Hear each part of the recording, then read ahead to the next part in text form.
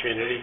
Um, What I I would recommend is, as far as, because it's obviously some type of, um, it's going to be a survey that would have to be answered.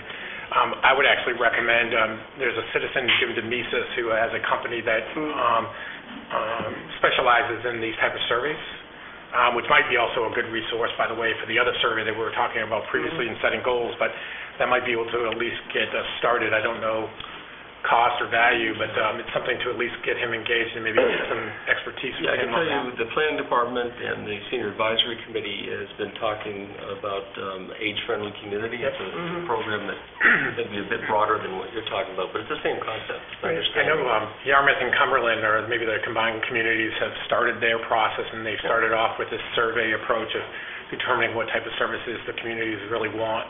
I'll talk to uh, the senior advisory group. I believe Yep. much of that is in process.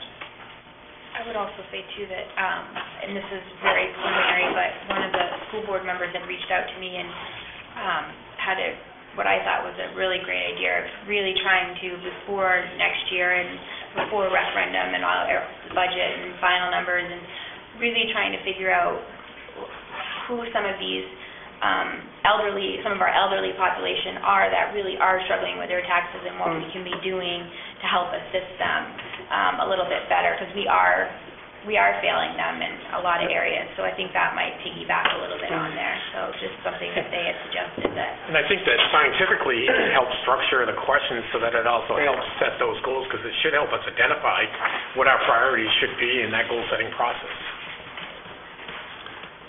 Communications is a big one. Um, I'll take the blame if there is some to go around. Uh, Things have slowed down, just I've been distracted with budget, and we need to get that. Councilor St. Clair is heading up that effort, and, um, and and I guess I'll accept the responsibility of slowing the process down, partially because I think we need some basic policy or guidelines um, in terms of how this is going to operate. And um, I will soon have some time to get back on it, and, and we'll redouble our efforts. But it is uh, certainly a large goal of mine as well this year to make some progress. yeah, we definitely have, um, you know, we have some, some some domains and some, some names and some sites that are really ready for us that we've already taken kind of, sort of taking control of, Yeah, so that good. no one else can take control of them, Okay.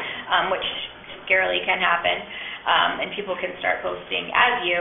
Um, and so, uh, that I think is something that, you know, once we really dove into it, we didn't realize, you know, some of the ramifications that can come out of all of that. So that's, it's, it's taking us a little bit longer, um, to iron out some of Mhm. those details.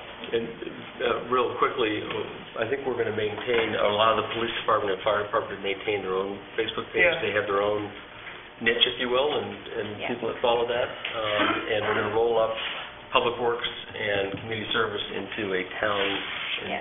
And certainly supplement it further from that. But we'll have content uh, because those two exist already. Right. already. And I think they were pretty much like, here, take it, go ahead and run with it, so it was nice. All right, so real quick, we're just going to wrap up with our last two, um, affordable workforce housing. Um, As you know, um, Southgate House is in motion, Mhm. and um, Griffin Road is still waiting patiently. Um, They have been working on some language that will be coming to the council, just for some clarification on, on housing um, pertaining to um, deed restrictions and, and how you maintain affordability if you choose to go that way.